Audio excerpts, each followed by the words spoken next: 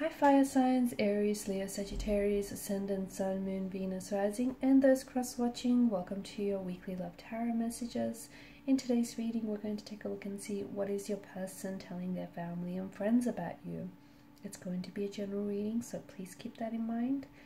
If you're after a personalized tarot reading with myself, please feel free to reach out and inquire. I will list my email address below the video.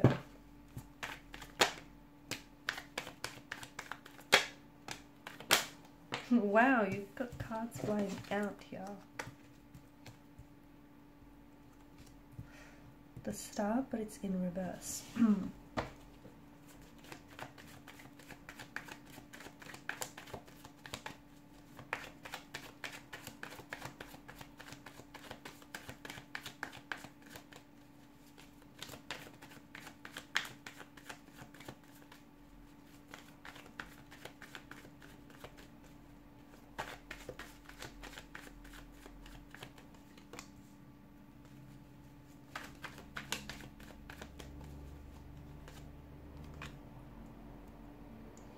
Okay, so the Two of Swords could be signaling that maybe the both of you are in a no contact, no communication period. Okay, so this person isn't doing a lot of talking. Um, they may have blocked you.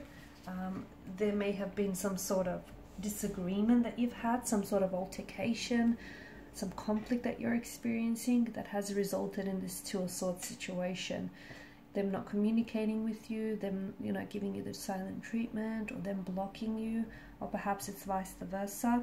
The good news is you do have the Ace of Swords, so even if there is blockages right now, or if there's no contact and no communication, the Ace of Swords does predict that there is going to be contact or communication in the near future. And because excuse me, the Ace, the Swords are very fast-moving energy, it's probably going to happen sooner rather than later, or a lot quicker than you'd like um, and then you know they will communicate with the sense of with the truth. They will communicate and speak a truth of some sort. They will explain their sudden withdrawal or their emotional outbursts here. They're coming in to you know to talk to you. Right now even though they're not talking with you they're definitely talking about you okay? Um, or even if you guys are communicating, the Two of Swords could signal that, you know, this is someone who is either they're coming up as an avoidant personality type or this is someone who is avoiding talking about their, you know, feelings. They don't really they don't really do well in that department. They don't like talking or discussing how they feel. Maybe, you know, this isn't something that they're used to. Um, might have a lot to do with their emotional um, environment and their upbringing. Um, just could be how they are, naturally closed off and reserved.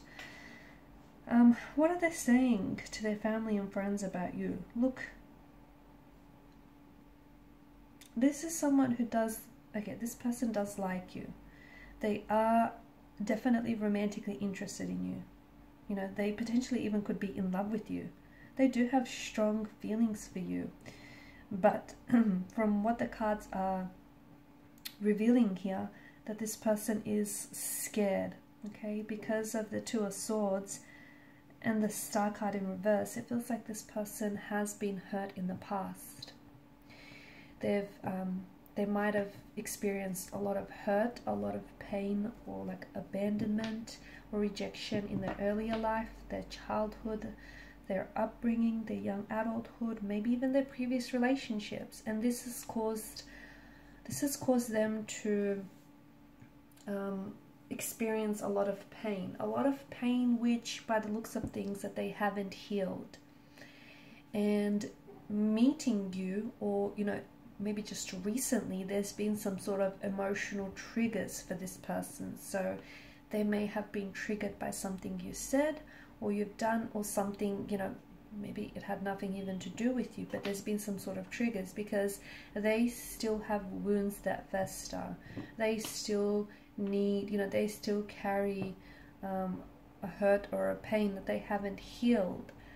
And because they are coming up as an avoidant, this is someone who avoids talking about things, who avoids, you know, confronting their emotions and processing their emotions. So this isn't good if particularly, you know, they haven't healed the situation because avoiding something avoiding, you know, the situation, the pain or the hurt is not healing it. Confronting it is a huge part, a huge process of healing it. So if you think, you know, it's not you, okay, if your person is acting strange lately, or even if they're acting a little bit like weird or they're sort of overreacting, it's important for you not to personalize the pain because from what the cards are depicting here, it does feel like they have some emotional baggage that they still carry with them. This is someone who's very attracted to you. Okay, this is someone who speaks about you in, um, they speak about you very highly in a very positive light. You know, they feel like you are the star you're the shining star in their life. They feel like you have a lot of healing properties to your energy. You have a very healing, soothe, calm energy here. This is someone who feels very comfortable with you. And especially if they're an introvert, that's saying something. That's speaking volumes, guys. Um, but it feels like they're scared and it feels like they're engaging in sabotaging behavior when it comes to this connection. It also feels like, unfortunately, they because they haven't healed past wounds, this relationship is suffering as a result of it. And I don't know if this person sees that. And when they talk about you to their family and friends, it feels like, you know, their family and friends know know them, right? They know what they've been through and they can tell that, you know, the past is sort of past wounds or memories are still hurting them and it's sort of resurfacing and they can tell that that's what's haunting them and your connection with this person they feel like I feel like this person is spiritual or I don't know if you're you're the very I'm getting a very spiritual energy someone who's very in touch with their inner self here could be you and maybe you've had a, that positive influence on their life but they do feel like you're a soulmate you're their soulmate or the two of you are destined you know they believe that you were destined to meet like that how even the way you guys met, it was it wasn't um, random. It was it wasn't coincidental. It was purposeful. Um, and they feel like they've known you. They feel like they feel very comfortable. They feel like they've known you the, their whole lifetime. I feel like their family and friends are definitely encouraging for this person to talk to you. Okay, they're encouraging this person to be vulnerable with you, to let them see, to let you see that side of them. Because they know that, you know, if they allow for their fears to dictate their actions, that they potentially could lose this, you know, they potentially could lose this good thing that they have going with you. So their friends, family members are definitely trying to be encouraging and uplifting. Talk. They try to keep saying talk.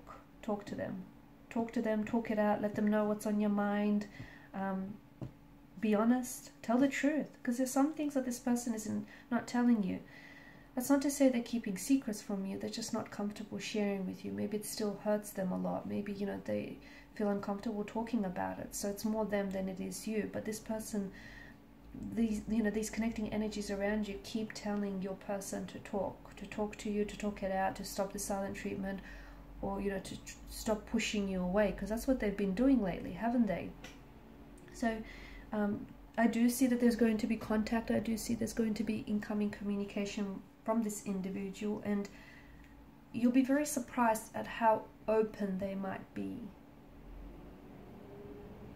at how honest they may seem as well with you and with what it is that they say Okay guys, and these are your messages. Thanks so much for watching and listening. Please show your support by liking, sharing and subscribing to the channel. Bye for now.